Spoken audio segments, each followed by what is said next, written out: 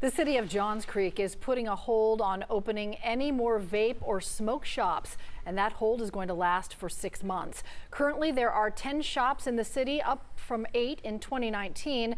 The Community Development Department telling us they got seven more requests to open new shops just in the last month.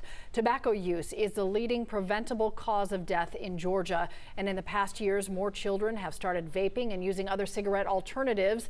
That is prompting the state to create special programs to try to educate young people and keep them from using.